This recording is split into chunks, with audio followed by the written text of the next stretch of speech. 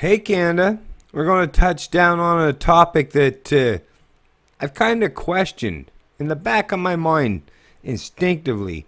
I've always questioned this whole thing on social medias because I know. I mean, I've already, I already have heard about the fact that there are bots, right? Cyber bots and algorithms and many different methods that are used to um, completely misconstrue the kind of popularity or likes, thumbs up, right? Or or other aspects of social media. And when I first started hearing about the fact that you could pay, you know, a certain company that have produced software, you can pay them a certain amount of money, and it's usually not all that expensive. But you can pay the money and they'll give you more likes or more bots or some of them are, are not even just computer algorithms. Some of them are actual real world human beings, but they use an algorithm and a bunch of people if that you can pay them and they'll like your page or subscribe to your page or create this scenario where it seems that you're much more popular than you than what you truly are. And to me it's like sure I could jump on that bandwagon. I mean, especially if it's only going to be a few hundred bucks over the course of a few months. Now, that's not that's not a gigantic amount of money. But I was like, nah, I'm not gonna sell my fucking principal out, principles out, or pay someone to like me. That's like that's like in the real world outside the this online social media sphere. That's like in the real world, like me paying people to like what I have to say. Fuck that shit. I don't want anything to do with that because would I ever actually have any genuine understanding of what people are thinking, the thought processes that are run through their head if I if if they only agree with me because I paid them to, right? I mean, pff, no. But this is in reference to, and it's a CBC article, of course. World under the world headline.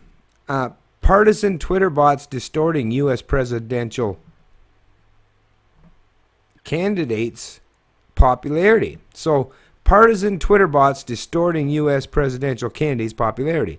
Thousands of automated accounts known as bots flood sites with messages for and against candidates. So I'll give you a real quick rundown. And some of these bots can seem very much like regular human beings because these are just algorithms. So you know, if there's a keyword, whether it's Donald Trump, right? If you if the keywords Donald Trump are put in there or politics, then as soon as the bot recognizes those words presented in an article or a comment or, or any post that you put on on social media, it'll come across and they might have a, you know, a backup of maybe 20, 30 derogatory statements towards Trump. And the, the bot will just randomly pick one of them, but it'll seem like a person that's opposing your ideas, your views, your uh, preferences, your, your, your opinions, right? But but we're seeing now that, and this is all, like I said, this is all we all know this to be factually true now. This is being reported by the CBC and Adrienne Arsenault. These people realize that if you you present a story without at least uh, having any semblance of uh, reporting actual honest facts, that's the thing. It really comes down to how propaganda comes to be. Now, the initial initial story is the fact that there are bots, right, that uh, are propagating in the internet. What they say afterwards, the narrative presented by political propagandists or pundits, that is the part that is completely subjective.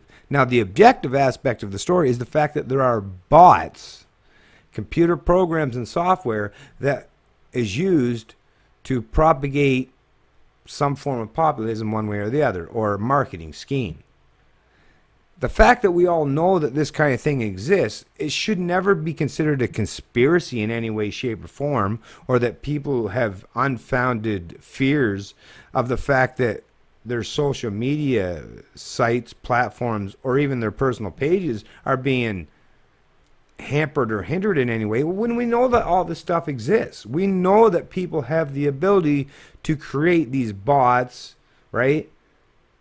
This software that promotes and espouses whatever the programmer wants.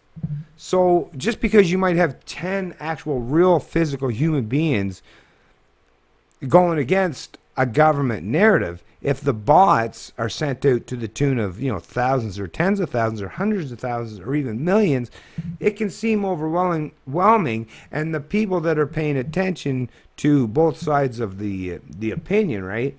They'll they'll automatically want to lean on the side of the populace of the of the, the opinion that's espoused by the bulk or the majority, because that's what democracy is all about. So, an algorithm today is all about promoting populism. That's what tricks the human mind into thinking, well, maybe I should think that way because it seems like the majority of people think that way. And if I'm going against or opposing majority think, thinking or opinion, yeah, it's probably not going to work out very well me for me in this particular world or this geographical ge- geographical landmass that I currently reside in. This is what it really comes down to.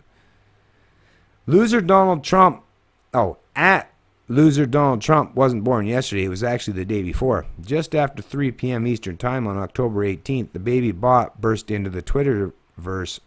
Someone somewhere who is clearly not a fan of the Republican presidential nominee wrote a piece of code for a Twitter account that would fill people's feeds with anti Trump messages, right? It all sounds a bit childish, but at loser Donald Trump and its thousands of cranky cousins are changing the conversation around this election that might even be changing minds. Bots are changing minds. Collective um, propaganda, of course, that's what it's all about. The brand new baby bot started with a few hundred posts an hour, and by the end of Wednesday night's presidential debate, it had retweeted thousands of times, earning itself the dubious honor of the busiest bot of the night, according to social media and analytics from Sysomos Canada. It far outpaced the next contender, America Right Now, at Am Right Now, a conservative pro Trump bot or automated account devoted to posting conspiracy theories, which, see how they put it? Devoted to posting conspiracy theories which on debate day created 1,200 posts. At loser Donald Trump more than doubled that output. So I mean, even right here, I mean, this is may very well be a.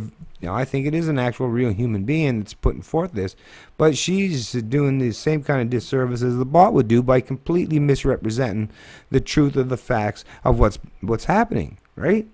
Adrienne Arsenault is is choosing. She chose a political side, and she's going to promote and espouse the kind of rhetoric that will lean on that side of the political spectrum. Terrible, man. That's terrible. The brand new, oh,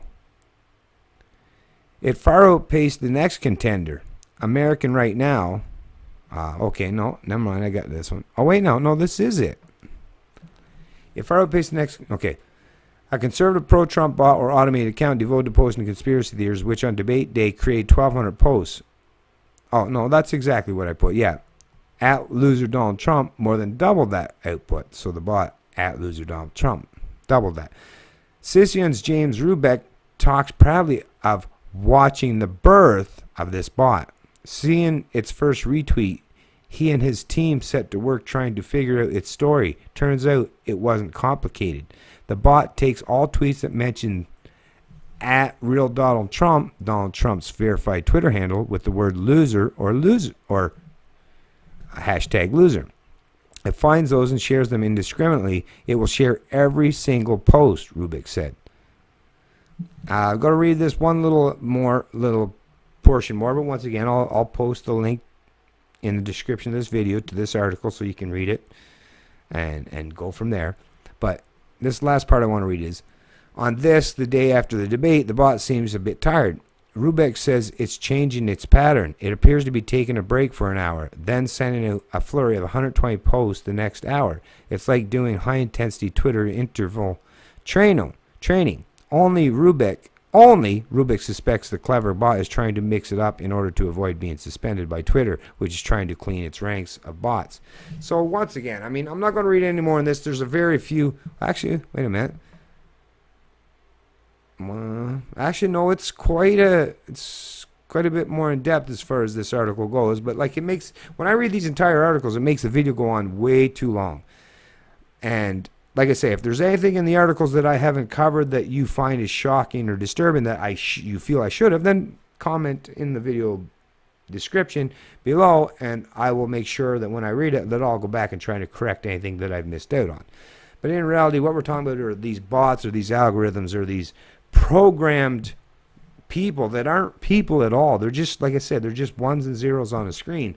But they've created this this false sense of popularism or populism regarding politics or a candidate or even they use, they're even using it for marketing purposes.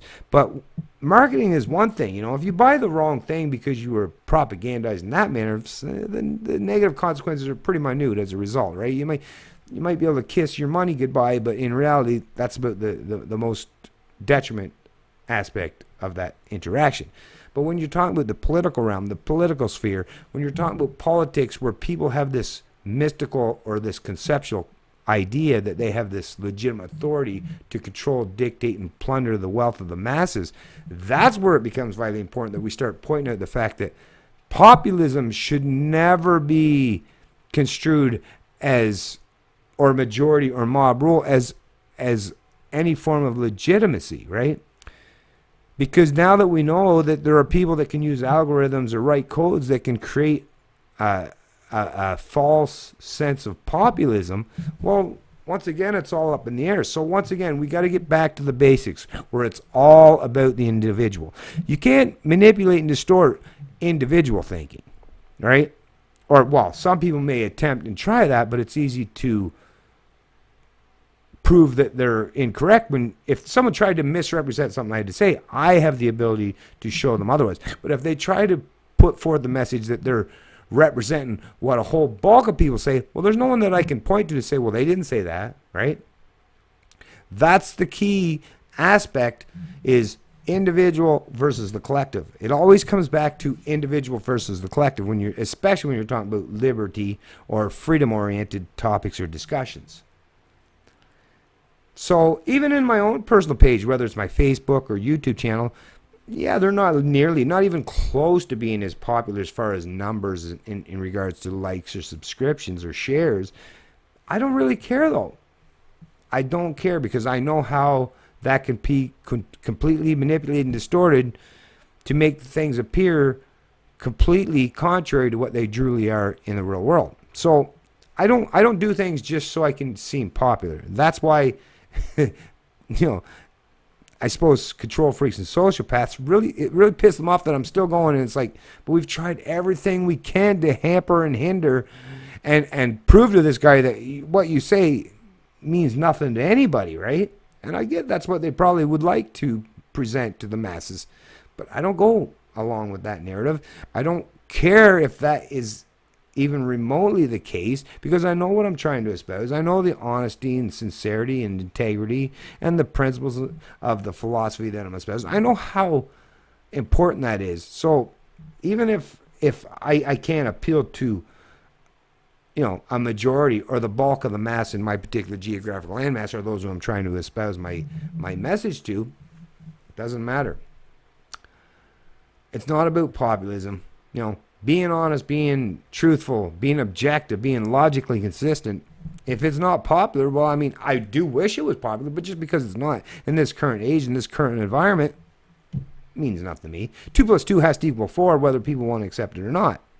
If the majority of people were trying to tell me two plus two isn't four, it's five, I would seem like the wrong one, right? I'd have the wrong answer, or I would be like, how could this one guy be right when there's everyone else is telling him but the facts would still remain consistently objective that I was right. Just like right now. I know the kind of stuff that I talk about and that I espouse is correct morally, philosophically, and universally principled. That's what matters most to me. That's why I don't care about the populism bullshit. That's why I don't care about numbers or statistics. Objective truth, logic, and consistent reasoning matters most to me. Canadian Libertarian, and I love liberty.